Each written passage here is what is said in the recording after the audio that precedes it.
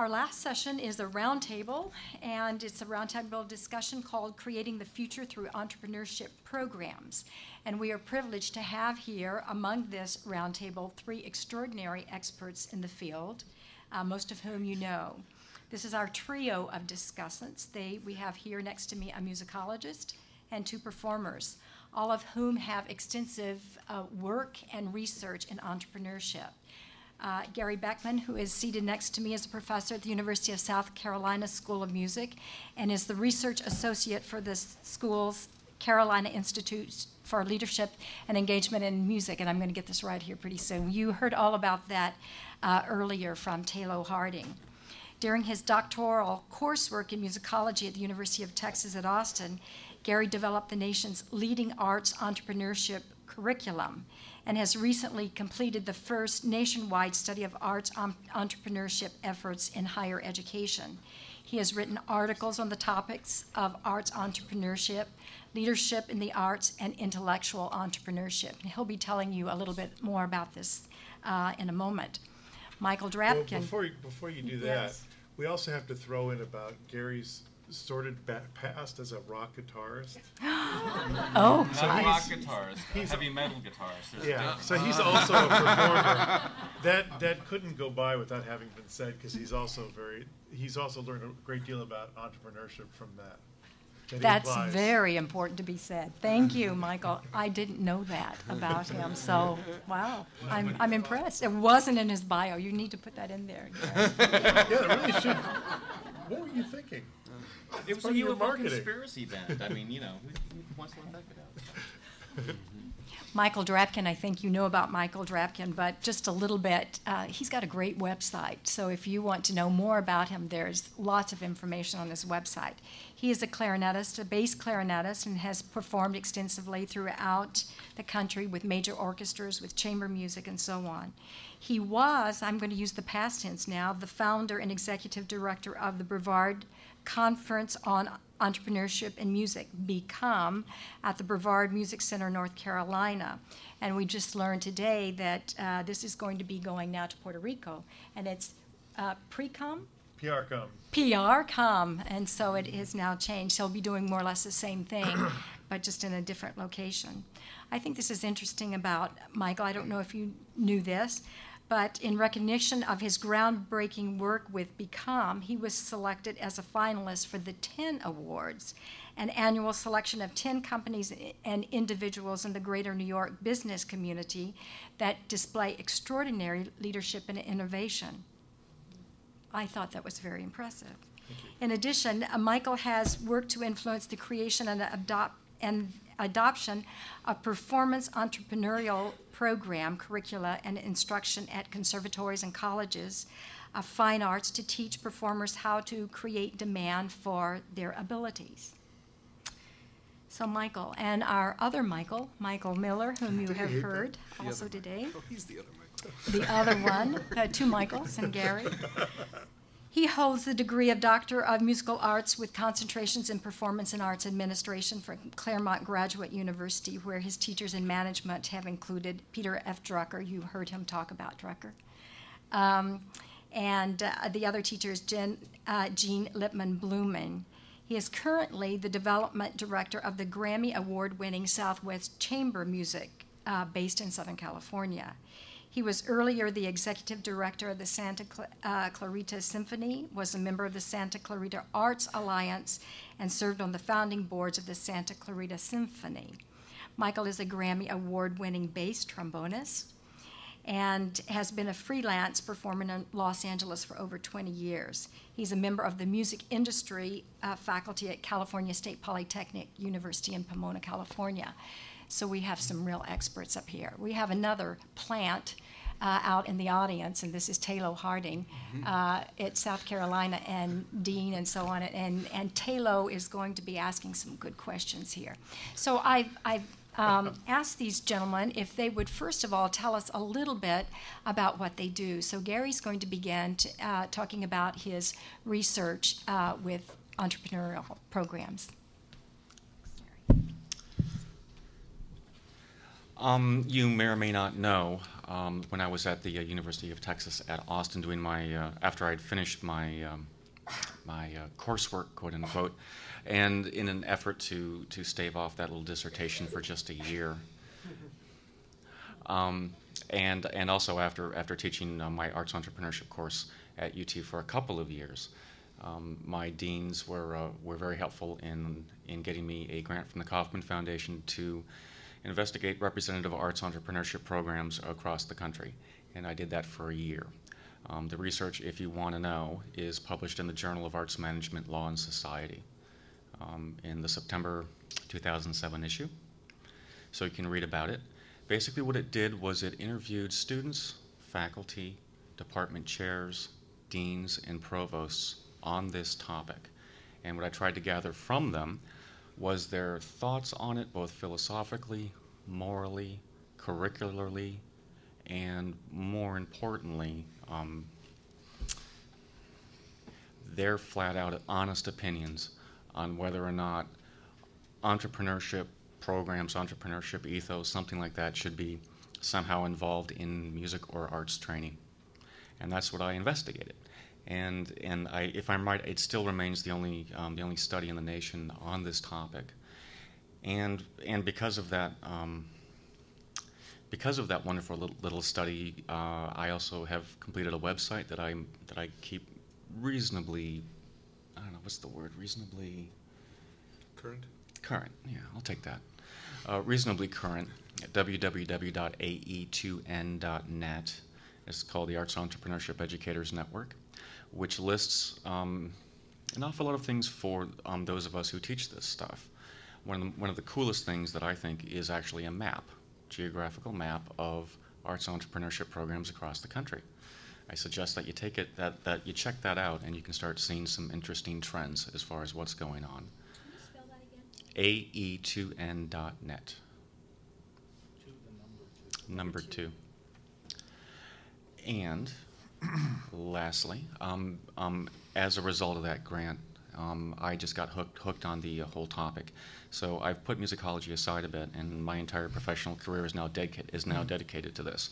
So I write an awful lot on this topic, um, and and that's sort of my my contribution besides teaching. Um, and loving the, the uh, teaching end of it is really trying to get the, the scholarly base for this thing down pat um, as much as I can as much as I can. I'm certainly not, uh, I don't know it all, that's for sure, but at least there is. Um, there's a body of literature out there that has some kind of legitimacy with regards to, I mean, specifically because of the journals that they're being published in.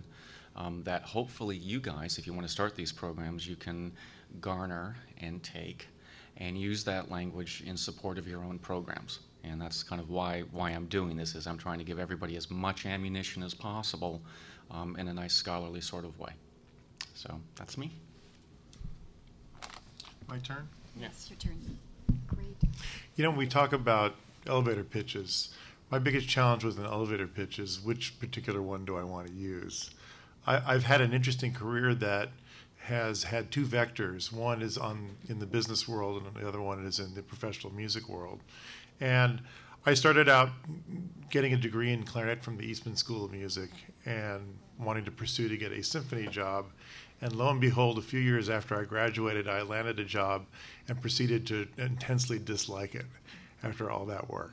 But at least I, arranged, I arrived at the top of the summit as opposed to wondering what it would be like. And one of the things I did starting at the end of high school was also working with computers and technology, which I did all the way through school as well. And in fact, all of my orchestra auditions were funded by doing programming in the New York City area, which was much better than waiting tables. So after I went out to Honolulu Symphony and decided I didn't like it, even though I was in paradise, I guess that was the acid test. Um, I came back to New York and started doing a lot more technology and less music, but I never stopped being a clarinet player. I never thought of myself as not being a clarinetist. I never sold my instruments. And it led to some really interesting experiences working with probably 30 startup companies and the Fortune 500, including a stint for almost five years working at the now defunct Lehman Brothers on Wall Street, where I learned a lot of really amazing lessons about expectations and quality, which is not different than what we try to do as performers. So um, I had a really thriving consulting practice up until 9 11, and then being in New York City, the market totally died. And it really was, if I look back in that, to me, that was a real watershed event if I look back in my life because it forced me to look back at my life and say, okay, I've done all these things. I've, I've learned ways that I can make a, a pretty good living in the business world, but what is really important to me? And I thought to myself about what I had learned in business affected what I did in music, and what I did in music affected what I did in business. And it got me to thinking about how detached my curriculum at Eastman was from the real world. And I said, you know, I think with what I've been gifted in terms of the experiences I've had, I ought to be able to apply that towards coming up with something that's a little bit more useful or realistic. So I started doing some research. And um, actually, what happened was uh, Jim Undercofler, who was the currently the, was the dean at Eastman, wrote um, they published his commencement address, and I sent him a very scathing response via email, which I still have up on the web somewhere, which basically said, How in good conscience can you graduate all these people from your school without any thought about what they're going to be doing the day they graduate? So, to make a long story short, he said, Well, what would you do? I said, Well, why don't you teach them something about being an entrepreneur? And he said, Well, what kind of a curriculum would you suggest?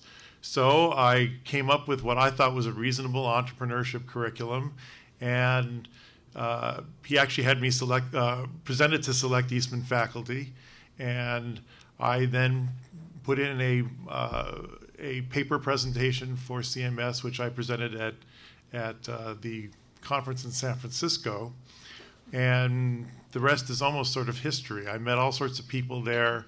Um, with the encouragement of Bob Freeman, who was my Eastman director, he introduced me to the Kauffman Foundation.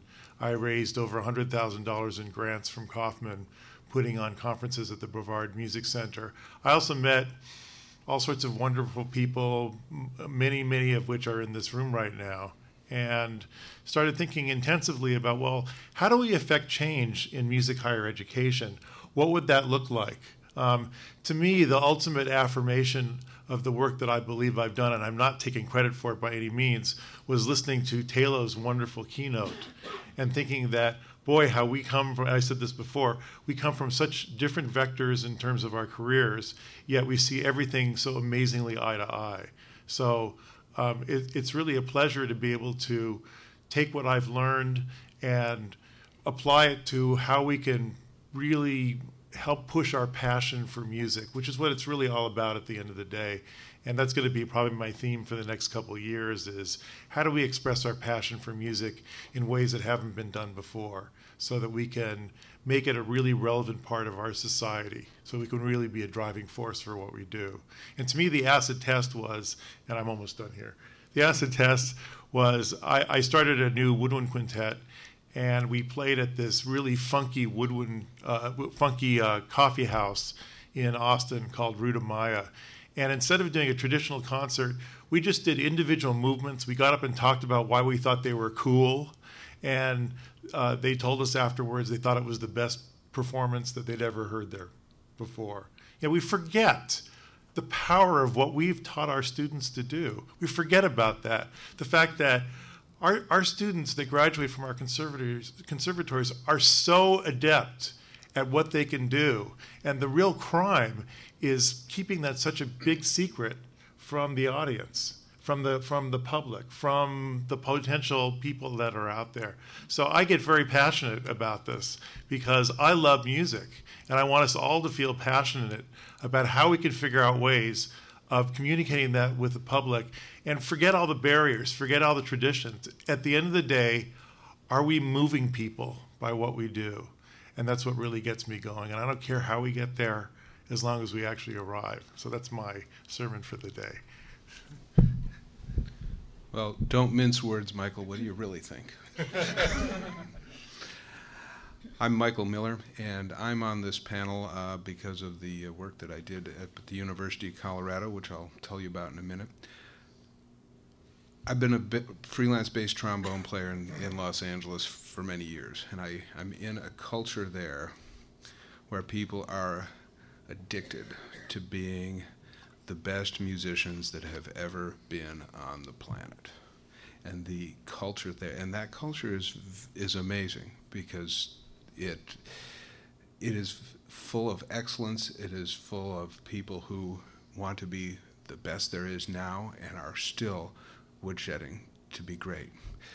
The challenge for students that are coming into that culture is significant, and and we feel like they are often just qualified to be music students, and that's not what we do.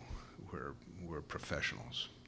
And so I had thought about this for many years, and then I had a, a really transforming experience with my doctoral program at Claremont Graduate University, which is a very small program, and it's focused on, on the history of thought and ideas in the, in the music program. So, uh, so the aesthetics course, going back to Plato and Aristotle, gave me the foundation for going and studying with Peter Drucker at the Drucker School, and that was eye-opening and, and remarkable. And coming out of that, I, with my professional experience, with the history of music ideas, and the thought of how management, administration, music, leadership, it all is about excellence in human endeavor. And my art is so important to me. I love music. I love doing what I do. I love being great at it, as great as I can be. And I love having the, the students of the next generation make it even better. So it's so I'm very much into not only the playing side, but in, in management. I love my development job with Southwest Chamber Music because we are putting a footprint on the history of music out of our little small office, and it's fantastic. With students, I want to transmit some of that comprehensive thinking, like I've talked about with, with communicating in public, with self assessment and figuring out who you are and where you're going. And uh, so I took the opportunity to uh, go back to my alma mater, University of Colorado, for a year to fill in uh, for a year as uh, interim director of the Entrepreneurship Center for Music there. It had been started four years prior to my being there in 1998 by Catherine Fitterman, who was there uh, for four years. She's at New York University now. She did a great job establishing that. I went up there for a year. Kevin Wolfel uh, followed me for another four years, and uh, and now they're looking for a new director. There's a search going on right now. So any of you who want to uh, to apply, you can um, uh, you can give it a shot.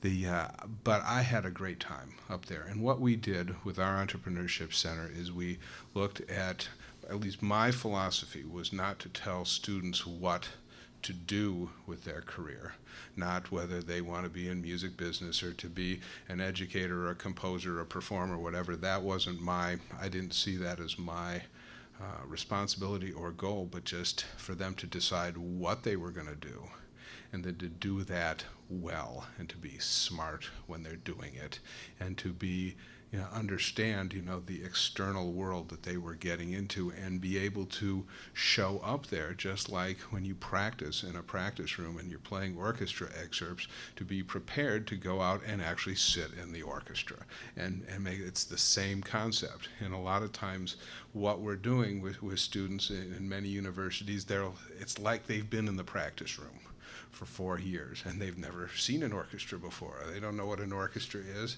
They don't know how to fit into it. And so I, we had coursework there.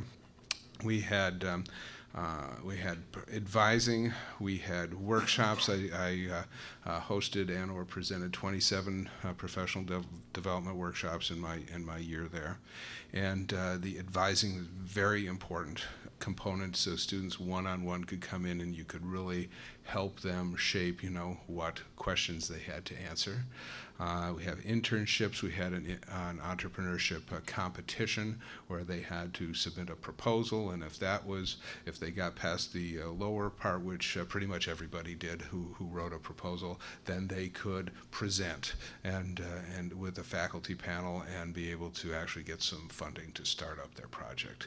And all of those things were were very cool. I'm I'm glad I did it. I may uh, do something like that uh, in the future, but I think it's important that all of us think about how we're preparing our students for the world out there because to me, that is what the proper results are is you know the results of a good music education is going and making an impact in the world regardless of what the actual career is but to use that ed- education to make a difference out there so that's that's my take on things Great. You've, uh, you've heard a bit from all three of these experts here, and I'm going to open it up to the floor.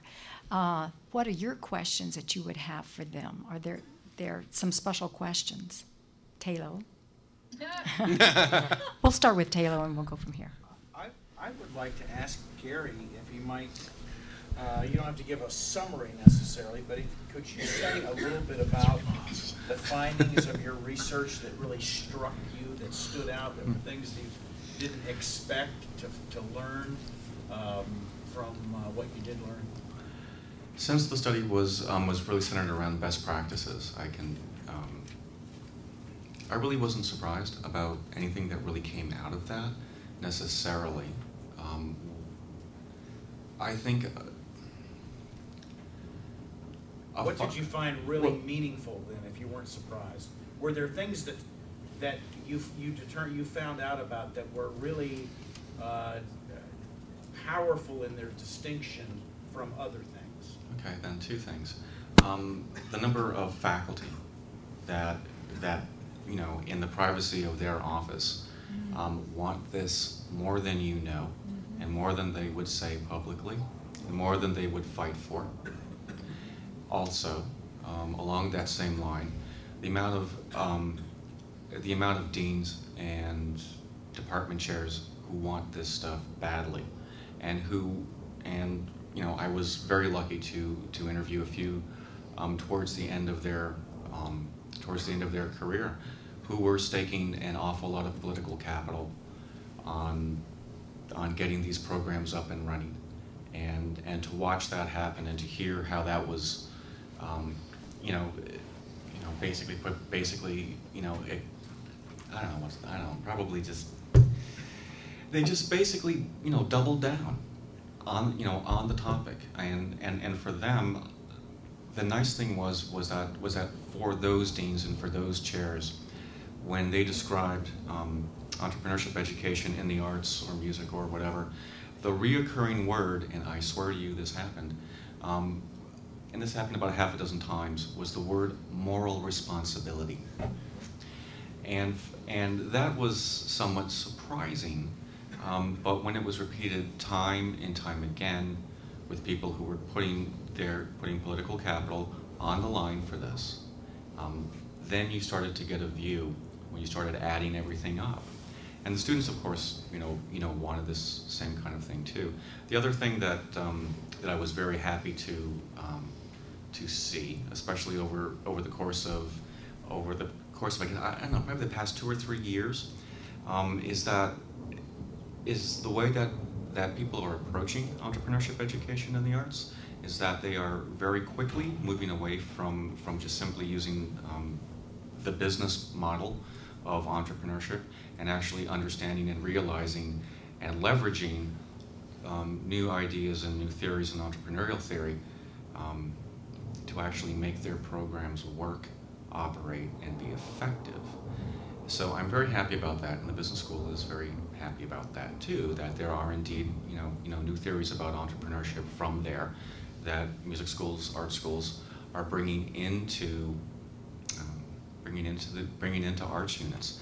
In other words, to be really frank, everybody's starting to understand that this is contextual, and that's the, that's really the, the, the more surprising thing recently. You know, I mean, it is contextual now and everybody's realizing it. I think everybody's realizing that the outcomes and metrics, whatever you know, however they are defined, um, I think that we're all realizing that it's got to be in the context of training. We train theater students differently than the way that we train train music students, than the way that we train music business students. The curriculum's going to have to be different. Sometimes you can see, you, sometimes you can cede control of your entrepreneurship curriculum to the business school, and sometimes it's the worst thing in the world. So that's what we've been. But the single biggest, I'm going to jump in this. The single biggest takeaway I think I could give you all day if you want to create the future through entrepreneurship programs is to not reinvent the wheel. Yes, Gary is right in that we have our own, our own particular needs in the arts and within the arts, but don't reinvent the wheel in terms of things that are already out there. Um, I would probably venture to guess that the arts has been the last bastion of industries in the world, or at least in business, to pick up the concept of entrepreneurship. There are other areas out there that have been doing it for decades. So, very heavily leverage what they are doing. Yes, decide whether it's appropriate for you or not, but don't reinvent the wheel. Uh, most of the stuff that I put together are best practices that I've taken from the business world or from business schools. And take that, make it your own, make it work for you, and it'll save you an enormous amount of time in achieving your goals. And can I, can I just get on that for a second? Um, agreed. Okay, I like you, but I'm going to disagree with you. But it doesn't mean anything with like with regards to our friendship relationship. Um, Should I run for cover? I understand what you're saying, but at the same time, um, if I could link this back with what Taylor had been saying with regards to, you know, ostensibly implying that there's microcultures within arts units, and things change between one school and another. Okay, I, I mean, I've seen this before in the research where, where one wonderful model that's going to work at University A in the in the music department is not going to work in the in the art department at University A, but may work at the music department at University Q and that's a really really wonderful thing. Now now I understand about about not wanting to reinvent the wheel, but at the same time I um, I would I would warn that that that simply taking models left and right and thinking they're going to work may not be the best idea. Um, this this is where getting the faculty together and having an idea together of how you want to proceed is probably the best way to go. Obviously, keeping an eye specifically on the outcomes that you want for your programs, the outcomes that you already have for your programs. I'm a big fan of, of never divorcing the outcome, um, never divorcing the outcome of your entire unit from your from your entrepreneurship program. They have to be linked because if they're not linked, then they're disassociated. If they're disassociated, then there's then then then students aren't going to win. That defeats it. So I would just say be careful. And and I would like to follow up on on both of those things because the um, and start with with the moral imperative. And I think to me having something that is a life that is based on the great music education you have, I think is our moral and ethical responsibility if we're going to sit there with prospective students coming in saying, come to our university and pay us tuition and be here for four years. And this is something I had to think through when I went back for my doctorate. I said, well, do I want to teach? Can I recruit people to music programs knowing how tough it is out there, knowing how tough it is in, in our city. And, and what I came to is that there are a lot of great things that people can do with a music education. And it's not so much, you know, and yes, we learn from the business schools, but we have a lot to teach the business schools. We do amazing things. We have diverse skills that are, are not just technique, but it's the musicality, the un, the unknown, the, the things that are the intangibles. We learn how to learn that stuff systematically in our playing, and we learn how to present and connect to audiences. We just have to think about the value of the skills that we already have and make that systematic and know how to go out there and deliver it.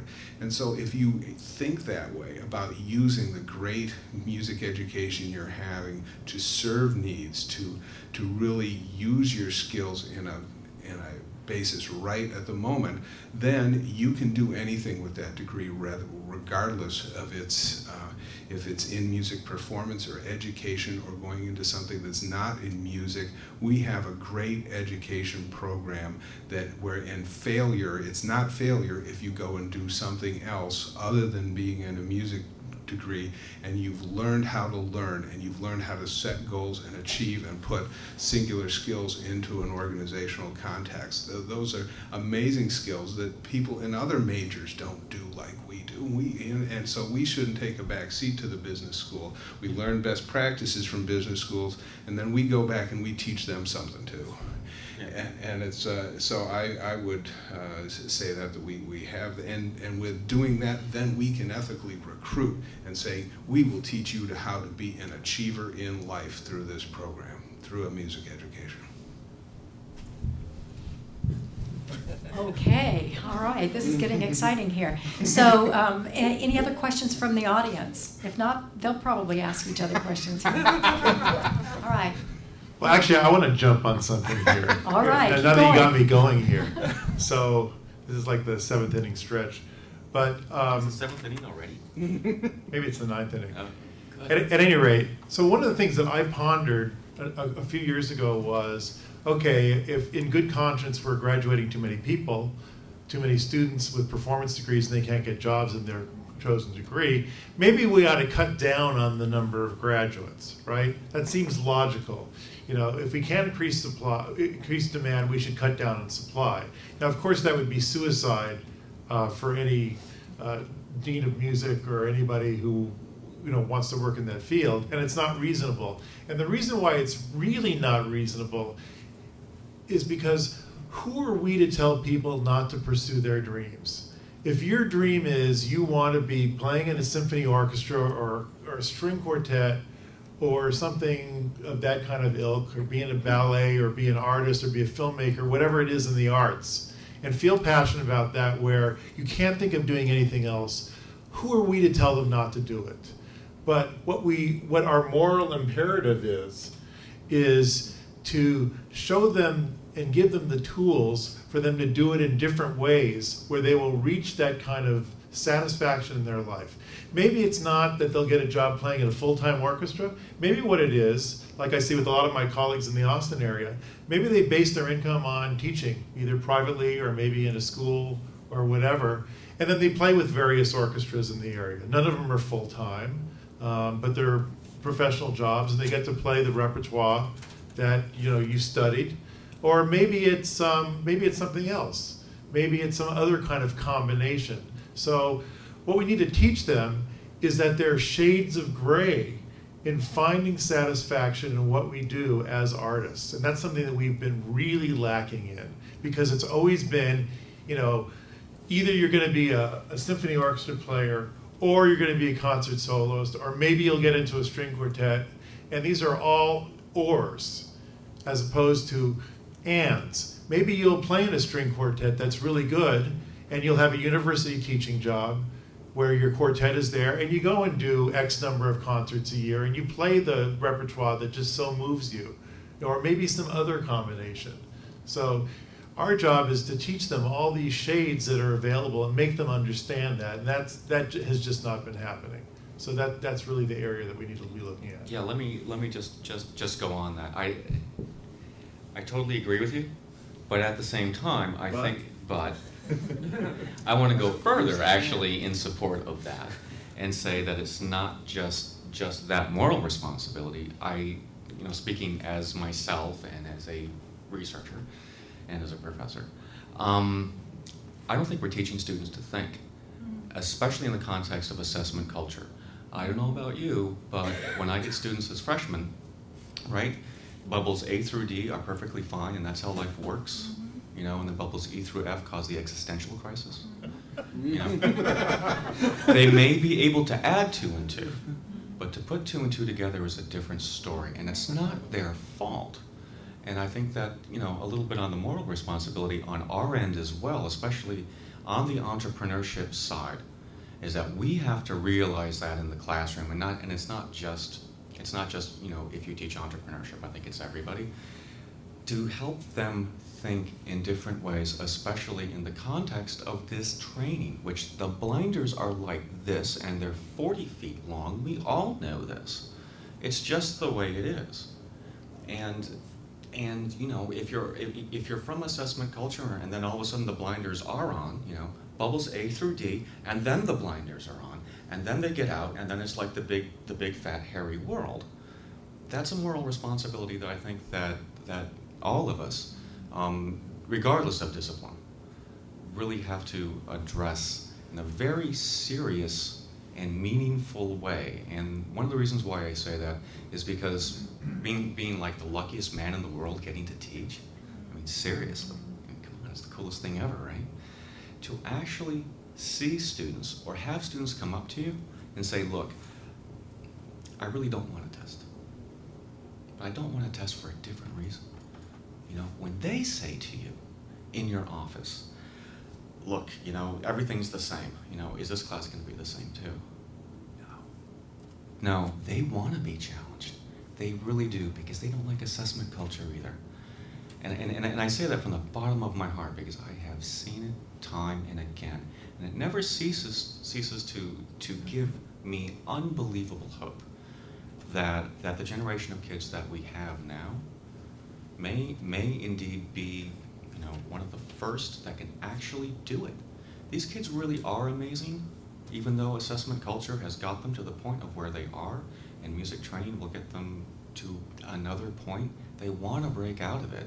It's our responsibility to bloody empower them to do it, and that's where and, and, and that's where where I think entrepreneurship education conceived in, in a more progressive way which in fact, I mean, the, the business school has been talking about that for almost 20 years now. That's the beauty of, of, of, really investigating entrepreneurial theory in the context of designing these programs. Because even though nobody agrees on what entrepreneurship is, and nobody does, you can pull out some of the most wonderful, rich literature from the business school and apply it to almost any microculture you're in. And then have that inform everything that you do and then have that empower students. And if you think teaching opportunities are wonderful, you know, I mean, you know, we've all we've all had we've all had the teaching opportunity where all of a sudden the student, you know, understands the difference between like a pianoforte and a piano. Mm-hmm. Right? Yeah, there's a difference. I'm talking about something more, something, and I and, and I swear to God, and I've got a witness. I've got a witness in this room. This happened to me Monday. I, I was teaching my entrepreneurship class, and and and it's a pretty good class, you know, pretty good. But I, but you know, we were trying to, to learn learn how to innovate a little bit, and to actually watch a student realize that they were empowered to leverage their degree for money and what they wanted to do. You should have seen the body language. It went from this to this with that weird smile on and the weird gleam in their eye. And it wasn't just, oh, the difference between a piano and a pianoforte. It was, oh my God, I can actually do this. And there's a light at the end of the tunnel. And the light might not be at the end of the tunnel, it might be in two weeks. That's empowerment. And that's the beauty and the power of these entrepreneurship programs, which, and as I circle back to what Michael was saying. Which one? I've been doing this all Michael the Large, how's that? Which one?